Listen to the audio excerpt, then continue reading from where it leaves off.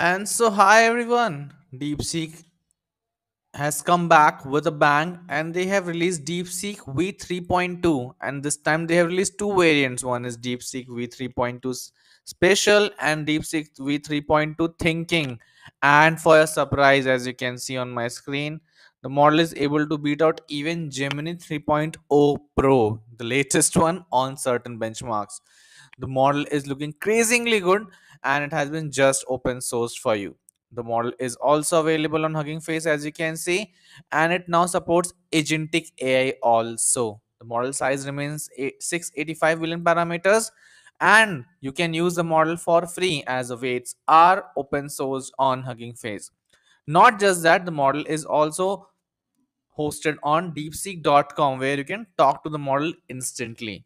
Here you can see that deepseek.com experience the new flagship model with free conversation with DeepSeek v3.2. DeepSeek v3.2 EXP model release, improving training and inference efficiency. Let's try out the model. So this is the latest v3.2. If you ask it, hey DeepSeek, which model are you, v3.1 or v3.2? So I tried this question. It is not able to answer that. It is saying that I am the latest DeepSeek model, but as you can see, it has started answering in Chinese. Oh my god. We need to ask it to answer in English. Please answer in English. The age old problem with Chinese models. Now, as it is mentioning, I am DeepSeek's latest model. I don't know which version I am. I think that's the best part. You can try out the model. Tell me about India.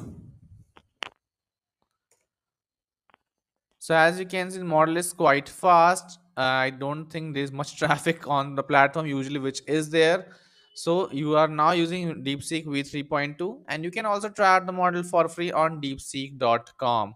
The model given the benchmarks is looking crazingly good and is even able to beat out paid models.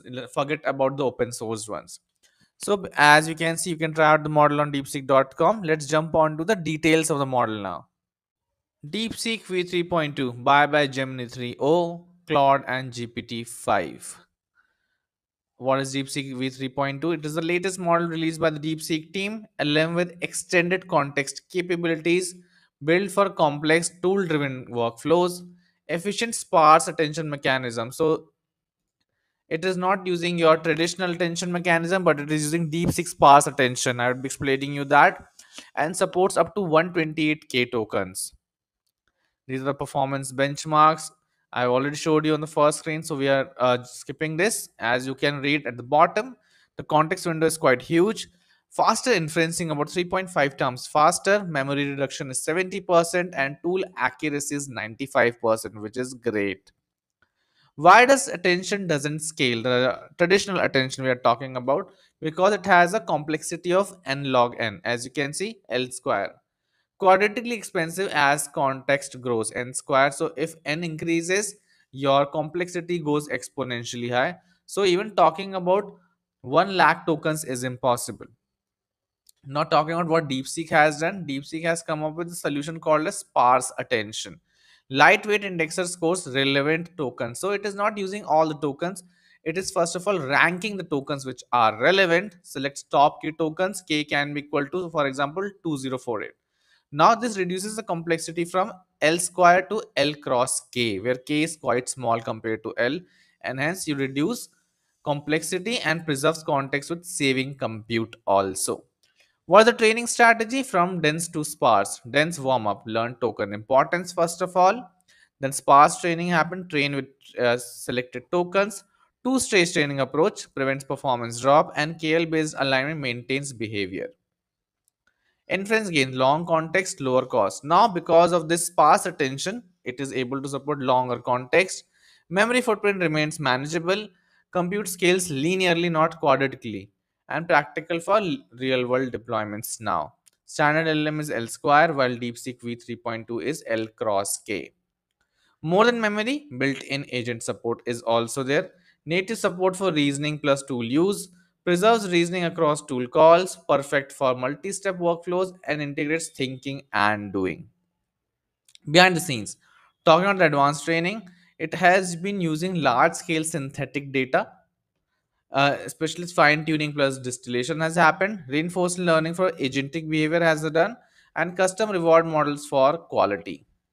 What are the strengths and limitations of the new model? Handles huge context, efficient at inferencing. As you saw, it's quite fast.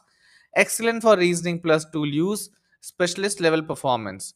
Talking about the limitations, lags in recent world knowledge, less optimal token efficiency, and may trail in complex reasoning.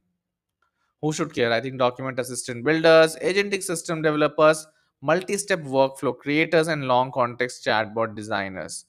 What are the practical consideration?